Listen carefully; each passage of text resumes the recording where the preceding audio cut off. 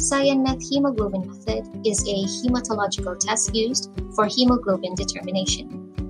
The International Committee for Standardization in Hematology and the National Committee for Clinical Laboratory Standards recommend this method for hemoglobin determination. This method is also known as hemiglobincyanide method. The materials, reagents, and equipment are Drabkin's reagent, a cyanmethemoglobin reagent which is available commercially as modified Drabkin's solution. Serological or micropipettes measuring 20 and 1000 microliters. Test tubes. And a spectrophotometer. The specimen that may be used are EDTA anticoagulated blood or capillary blood. The principle of the test is when blood is diluted in an alkaline Drabkin solution with potassium ferricyanide, potassium cyanide, sodium bicarbonate, and a surfactant, the hemoglobin is oxidized to methemoglobin by potassium ferricyanide. The potassium cyanide then converts the methemoglobin into cyan-meth which is a very stable substance and is then measured. The absorbance of the cyanmethemoglobin at 540 nanometers is directly proportional to the hemoglobin concentration. The procedure is Pipette 5 ml of Drabkin's reagent into two test tubes, one for a blank and the second tube for the specimen to be tested. Add 20 microliters of blood to the Drabkin's reagent in the second tube for testing. Rinse the pipette 3 to 5 times with the Drabkin's reagent or until all blood has been removed from the pipette and mix well. Allow the solution to stand at room temperature for at least 10 minutes to allow full conversion of hemoglobin to cyan-meth. With the blood and reagent added together, potassium ferricyanide in the reagent converts hemoglobin to methemoglobin. Methemoglobin is an oxidized hemoglobin also called as hemiglobin. Potassium cyanide then converts methemoglobin to cyanmethemoglobin. This is a hemoglobin complexed with cyanide, therefore also known as hemiglobincyanide. After 10 minutes, read in the spectrophotometer. First, read the blank tube at 540 nanometers and adjust the absorbance to zero or the transmittance to 100%. Then, read the second tube with the patient sample. Read the absorbance and record the reading of the tube.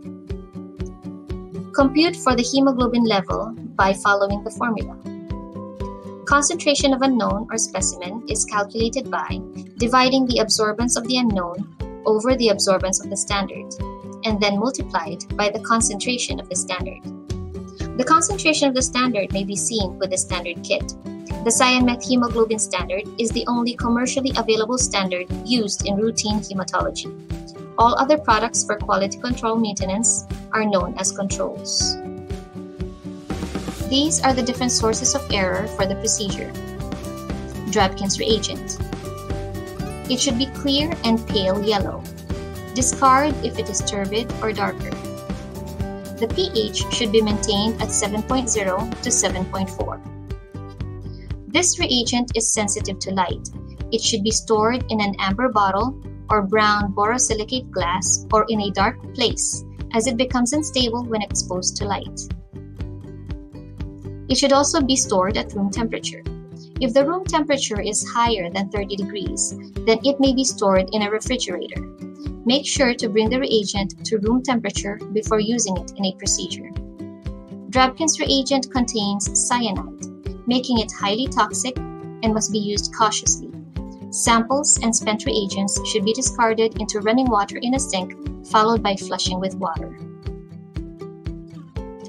Different conditions that may affect the hemoglobin method are a high white blood cell count or platelet count, these can cause turbidity and may falsely increase the results.